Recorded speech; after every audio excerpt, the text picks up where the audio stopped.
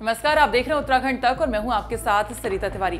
मौसम विभाग की भविष्यवाणी लगातार सही साबित होती हुई नज़र आ रही है। जहाँ पूरे उत्तरकाशी ज़िले में बारिश लगातार जारी है तो वहीं गंगोत्री धाम से लगी पहाड़ियों सहित हर्षिल और धराली मुखवा की ऊँची पहाड़ियों में लगातार बर्फबारी जारी है।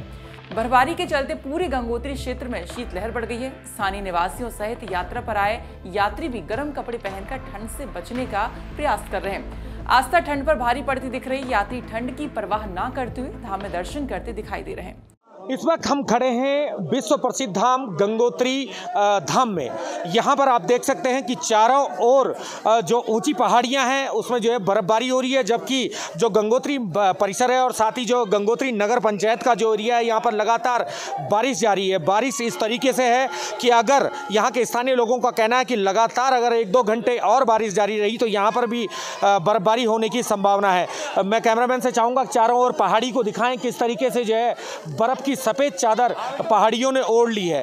ये बर्फ़बारी अमूमन इस माह में नहीं होती है, लेकिन इस बार जो मौसम विभाग की जो भविष्यवाणी थी, उसके चलते भविष्यवाणी यहाँ पर सही साबित होती हुई दिख रही है। ठिठुरन बहुत ज़्यादा बढ़ चुकी है। अभी का जो तापमान यहाँ पर रिकॉर्ड किया गया है, ये minus one degree centigrade Gangotri मंदिर पे ये तापमान जो है अभी दर्ज किया गया है। और आप अंदाज़ा लगा सकते हैं कि किस तरीके से जो है लगातार ठंड बढ़ती चली जा रही है।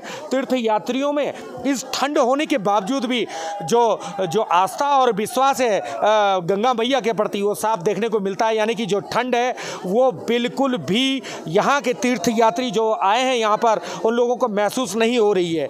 आ, मैं आ, हमारे साथ खड़े हैं यहाँ पर तीर्थ पुरोहित गंगोत्री मंदिर के इनसे जानना चाहेंगे कि आखिर कितनी ठंड यहाँ पर लोगों को झेलनी पड़ रही है। क्या नाम है आपका? मेरा नाम महेश चंद्र सेमाल। मैं कोषाध्यक्ष श्री पाँच मंदिर समिति गंगोत्री। कितना कितना ठंड है राहुल जी? यहाँ पे ठंड तो काफ़ी पड़ रही है बहुत कड़ाके की ठंड है और सुबह से ही बारिश लगातार चल रही है और यदि इस प्रकार से बारिश चलती रही है तो थोड़ी देर में पूरी गंगोत्री बर्फ़ से हिमछादित हो जाएगी। निश्चित तौर पर जैसे कि रावल जी ने बताया कि यहाँ पर अगर एक दो घंटे और बारिश अगर जारी रहती है तो यहाँ पर भी जो है बर्फ़बारी होने की संभावना है। हालाँकि बर्फबारी दुश्वारियाँ लेकर के आती है, लेकिन जो अन्य प्रदेशों से गर्मी वाले प्रदेशों से जो आए हुए जो लोग हैं, उन लोगों के लिए कौतूहल का विषय है। अमूमन जो यहाँ पर मैंने तीर्थयात्रियों को देखा, वो बिल्कुल बड़े कौतूहल से जो है ऊँची पहाड़ियों को निहार रहे हैं कि किस तरीके से जो बर्फ़बारी है, ऊँची पहाड़ियों में हुई हुई है और सफ़ेद चादर पहाड़ियों ने जो है ओढ़ ली है। इसके साथ ही कुछ दुश्वारियाँ भी यहाँ देखने को मिली, उससे भी जानना चाहेंगे, चूँकि हम अभी जब उत्तरकाशी से गंगोत्री धाम की ओर आ रहे थे तो यात्रियों को जाम जैसी समस्या से जूझना पड़ा। उसके बारे में जानेंगे। आप मंदिर समिति के हैं पदाधिकारी हैं तीर्थ यात्रा चल रही है जोरों पर।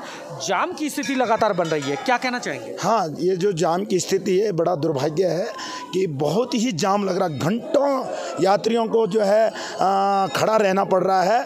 क्योंकि ये जाम इसलिए लग रहा है कि जिस प्रकार से रोड बहुत ही संक्रिय है, इसके लिए जिला प्रशासन और पुलिस प्रशासन को जो है अपने ये जो पुलिस के जवान हैं, ये प्रत्येक जगह खड़े करने चाहिए ताकि जाम न लगे, क्योंकि बड़ी बड़ी बसों की वजह से ही जाम लग रहा है। निश्चित तौर पर जो पुलिस प्रशासन है, उसको संजीदा होना चाहिए तीर्थ यात्रा को लेकर के और जगह जगह पर जो है ट्रैफ़िक पुलिस को खड़ा करना चाहिए, जिससे कि यात्रियों को किसी प्रकार की असुविधा ना हो। ओंकार बहुगुना गंगोत्री। तो ये थी गंगोत्री से ओमकार बहुगुणा की रिपोर्ट।